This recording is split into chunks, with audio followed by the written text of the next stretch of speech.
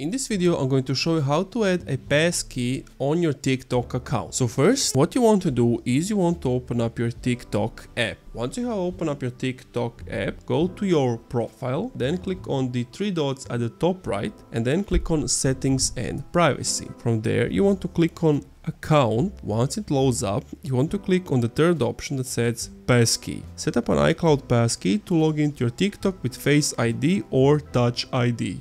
You click on that, then you click on setup, you follow the on-screen instructions and now the passkey has been added to your TikTok account. And that's it. If this video helped me out, let me know in the comments down below. If you didn't, let me know what was the problem and I'll do my best to help you. Subscribe, leave a like and bye.